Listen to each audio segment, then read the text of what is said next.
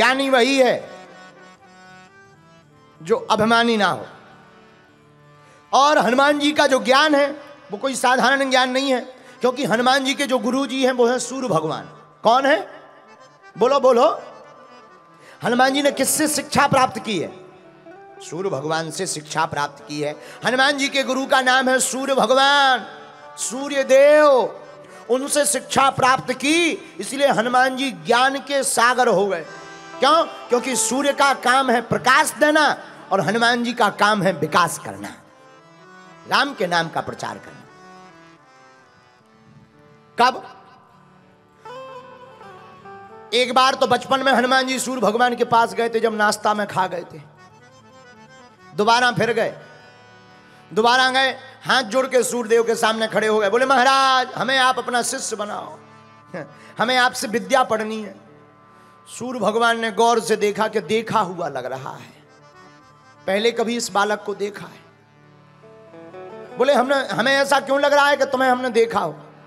हनुमान जी बोले एक बार पहले छोटे में आए थे हम आपके पास। सूर्यदेव पहचान गए। हाँ हाँ तुम वही हो जो हमको खा गए थे एक बार। हनुमान जी बोले, ठीक पहचाना है। सूर्यदेव मन ही मन सोचने लगे कि पहले तो इन्हें भूख लगी थी तो ब्रेकफास्ट में खा गए थे। अब कहीं हमने इन्हें स्टूडेंट बनाया, शिष्य बनाया, और कहीं बीच ही में इन्हें भूख लग गई तो फिर ना खा जाए।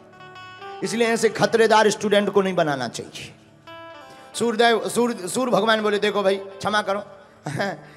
आप हमसे मत सीखो, घर पे ही सीखो किसी और से विद्या। हनुमान जी बोले, नहीं, हम तो आपसे ही सीखेंगे। बोले, क्यों? देखो एक बात, गुरु का ज्ञान बहुत ज़रूरी है। कई लोग पुस्तक का ज्ञान लेकर के ज्ञानी बन जाते हैं।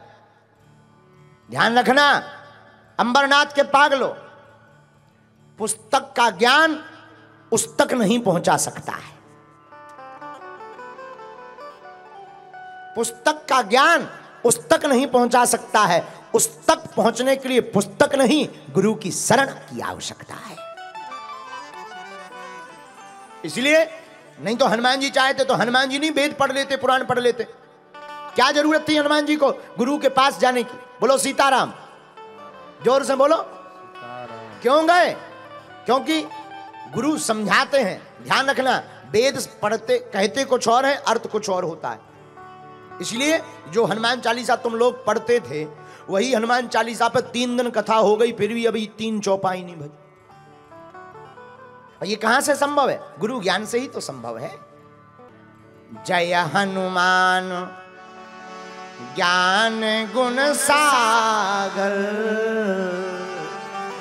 जय कपी से हनुमान जी सूर्य भगवान से बोले, सूर्य देवता, आप गुरु बनो, हम चेला। तो सूर भगवान बोले, कहीं चेला तुम्हें भूख लगे आई और ब्रेकफास्ट में तुम खा गए। तो सूर्य भगवान ने बहाना बनाया थे सुनो, हम आपको चेला, अपना शिष्य नहीं बना सकते। क्यों? देखो भाई, पढ़ने के लिए चेला को सामने होना चाहिए, गुरु को, गुरु के मुख की तरफ़ देखना चाहिए। अब हमारा काम है चलना फिरना, एक जगह तो हम टिकते नहीं है, दिन न रात चलते रहते हैं। तुम हमारे पीछे रहोगे और पीछे पड़ने से कोई फ़ायदा नहीं। हनुमान जी थोड़ी देर बाद सोच करके बोले बुद्धिमताम वरिष्ठम है ही है। हनुमान जी बोले, इसका भी उपाय है। बोले, क्या? बोले, आप भी चलते रहिए, हमें चलते चलते पढ़ाइए। तो सूर्य भगवान बोले, भाई, मुख सामने होना चाहिए। हनुमान जी बोले, कोई दिक्कत नहीं, आप सीधे चलिए, हम उल्टे चलेंगे। मुख आपकी तरफ़ हो जाएगा। तो सूर्य भगवान हंस करके बोले, गुरु के सामने ही उल्टा चलोगे पहले ही उल्टा चलोगे, फिर पढ़ाई काहे को करते हो? हनुमान जी बोले, वो चेला ही किस काम का? जो गुरु के सामने जो पहले चल रहा था, वही चाल चले। चेला तो वही है जो गुरु को देख करके अपनी चाल को बदल डाले।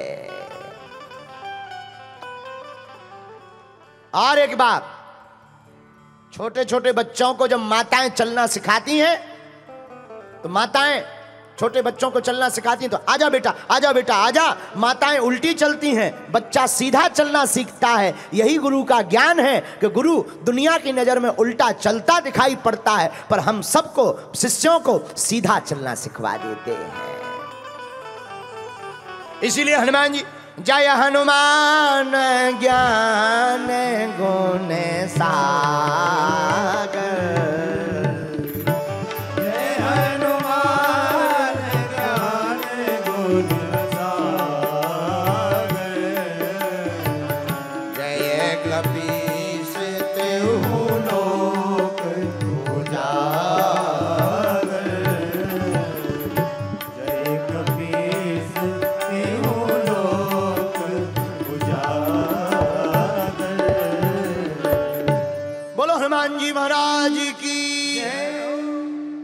हनुमान जी ज्ञान के सागर हैं गुण के भी सागर हैं।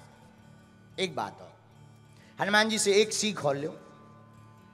जो गुरु की तरफ़ देख करके ज़िंदगी में चलता है, वो हनुमान जी की तरह ही निखरता है।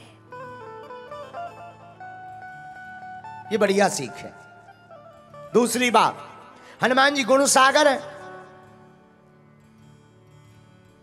ये गुणों का आशीर्वाद कब मिला? लंका में माता जानकी जी ने हनुमान जी को दिया।